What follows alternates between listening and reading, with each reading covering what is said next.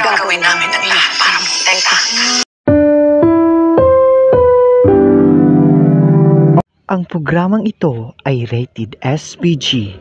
Istriktong patnubay at gabay ng magulang ang kailangan. Maaaring may siselang tema, lingwahe, karahasan, sexual, horror o droga na hindi angkop sa mga bata. Ang mga pangalan, karakter at mga insidente sa programang ito ay kathang-isip lamang at hindi nagpapakita ng mga totoong tao, organisasyon, lugar o anumang pagkakahalintulad sa totoong buhay ay hindi sinasadya. Primetime TV series. Kumusta po kayo mga ka-Primetime TV series ito na naman ang latest updates ng FPJ's letter ang probinsyano.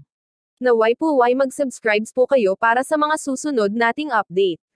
Tuluyan nang ang lulusab ang mga rebeldeng kasamahan ni Ramona batok sa mga kalaban nila Cardo ito na ang hudyat na marami na ulit sila at magtulong-tulong na para puksain ang mga pod sa gobyerno.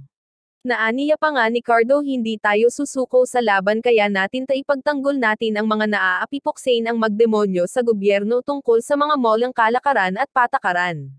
Armando paghahandaan ang muling paghaharap nila Cardo kaya naman nilubos-lubos nila na damaykit at kunin ang tiwala ng First Lady na si Madam Lily dahil sa magkakapera sila nito kapag sila ang makahuli kay Cardo Dalisay.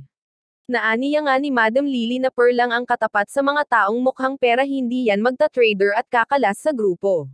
Plano nga nang sumulong nila Armando sa mga kuta nila ni Don Ignacio, upang maningil sa mga kasalanan na gawa niya noon. Naaniya pa ni Armando na sisiguruhon ko sa inyo na ito ang holang sandali dito sa mundo ni Don Ignacio. Dagdag pa ni natutulungan daw siya ni Lily na maghari dito sa mundo. Sagot naman ni Lily na patunayan mo muna ang galing nyo sa kanating pag-usapan. Bago kayo maghari dito sa norte. Dagdag pa ni Lily na inaasahan ko ang magandang balita ngayon gabi, sabay walkout. At sinulong na nga ang kampo nila Don Ignacio batok nila Armando ito na ba ang katapusan ni Don Ignacio. Sa di inaasahang pangyayari o paglusob nila Armando galit na galit si Don Ignacio dahil sa aniya na sino kaya ang nasa likod ng pagsulong sa kanilang kuta e wala naman nakakaalam sa ating mga kampo kundi tayo lang dagdag pa niya na ubusin nyo sila walang itirang buhay.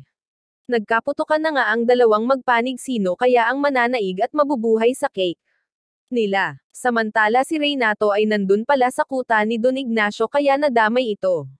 Natatakot na nga si Reynato play ng tumakas. Makakaligtas kaya sila sa higpit ng mga kalaban na sino ang magwawagi.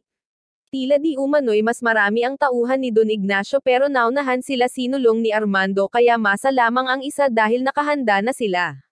Katapusan na ba ni Don Ignacio?